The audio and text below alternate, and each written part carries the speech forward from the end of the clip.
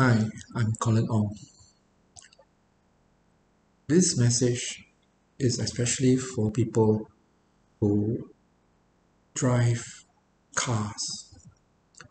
Have you ever wondered how much faith you put into car mechanics? Sometimes when I drive my car, I've been driving my car um, from a very young age. I always had my car. And as I grew older, I realized the amount of trust I put into car mechanics. Because sometimes when I'm driving at a very high speed, because I'm on an expressway or I'm trying to overtake, I just, it's occurred to me one slight mistake, one ball bearing falls, one shift of the tire, the car can overturn and I die. I may fall asleep, but sometimes I'm tired, the stability of the car actually protects my life for, for four or five seconds. And then when I wake up, I've driven when I'm very sleepy before. So, why am I saying this? I'm saying this is car mechanics are just as important as surgeons, are just as important as police. And they will do their work with a lot of pride, a lot of precision, and sometimes they do things automatic because they've been doing it for years.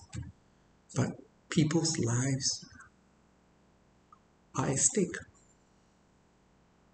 So I feel that if you're a parent and you're talking to Gen Z, your son or your daughter, and they don't understand about why must they study and they give say that Elon Musk, you know, didn't have a PhD, why must I study so hard?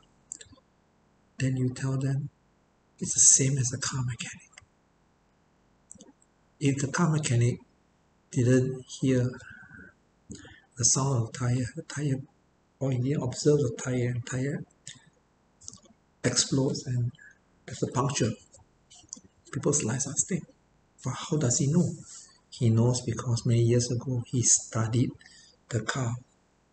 And the reason I use car mechanics is because they have to adapt to changes, changes in engine, changes in the type of fuel, changes in the type of way the car is um, changing. There's nothing more dynamic than the car manufacturing industry. Every year or so, new models of cars, new things that the car mechanic must memorize and study, right? Lifelong learning. So you communicate this to your son and daughter, or maybe bring them to a car yard and watch how the car mechanics, even with computers, has to memorize all the different ball bearings.